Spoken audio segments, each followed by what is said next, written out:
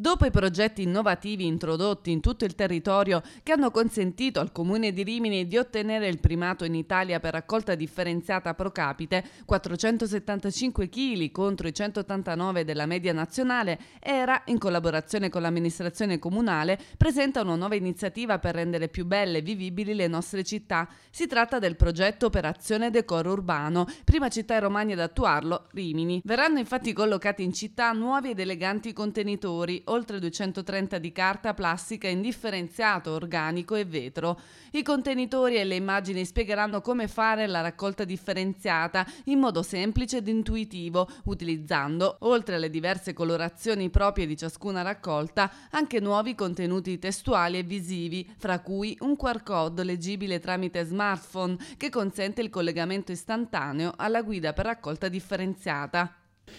chi ha l'applicazione scaricata nel proprio telefonino, ma è, di uso comune, può avvicinare il proprio telefonino con questa applicazione, scarica, si scarica il collegamento e si collega direttamente a quello che è il rifiutologo, che ormai quasi tutti i nostri concittadini conoscono perché è quello strumento che a casa serve per capire dove va un rifiuto e dove va quell'altro. Ecco, uno arriva davanti al contenitore, non si ricorda più, se ha la possibilità, di, se ha a disposizione questo telefonino può scaricare questa applicazione e si collega direttamente e ha questo tipo di informazioni. Con questo nuovo progetto ERA contribuisce quindi a rendere la città di Rimini ancora più accogliente all'apertura della nuova stagione turistica estiva. Dopo l'anno scorso, dove è stato attuato un progetto porta a porta nella fascia turistica per le utenze domestiche, dalla zona del porto fino a Riccione, quest'anno si sta proseguendo nella zona di San Giuliano Mare fino a Torre Pedrera e a breve il progetto Operazione Decoro sbarcherà nel centro storico. Questo progetto per noi è un punto in più rispetto al decoro urbano, chiaramente si unisce anche con